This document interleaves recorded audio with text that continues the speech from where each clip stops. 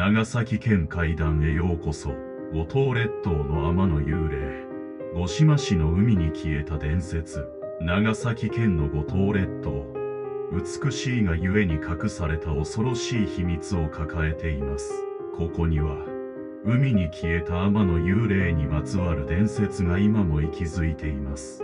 一見穏やかなこの島々の裏には古来から語り継がれる恐怖の物語が隠されています。この話は単なる伝説として語られていました。しかし実際にはその恐ろしさは想像を絶するものです。美しい山がある日海に潜ったまま二度と姿を現さなかったのです。その日以来彼女の幽霊が海辺をさまよっていると地元の人々は囁いています。この幽霊の正体はかつて海で命を落とした天だとされています。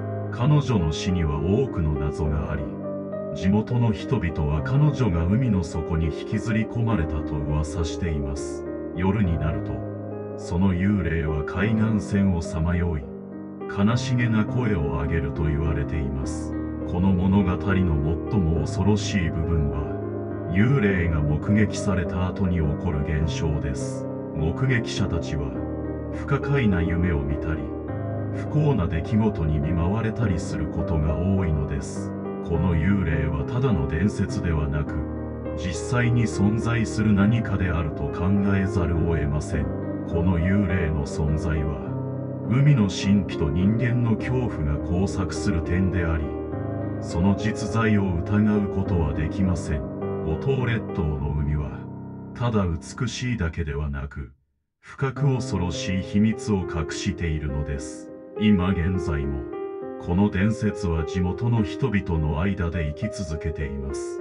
観光客もこの話を耳にし半信半疑ながらも天の幽霊を探す者が後を絶ちません。これはただの都市伝説ではなく五島列島の海が抱える永遠の謎なのです。この物語を聞いたあなたは五島列島の海を訪れる勇気はありますか？そしてこの幽霊の存在をどう捉えますか？最後までご視聴ありがとうございました。次は龍馬伝説長崎市で語り継がれる幕末の謎です。お楽しみに。チャンネル登録と高評価よろしくお願いします。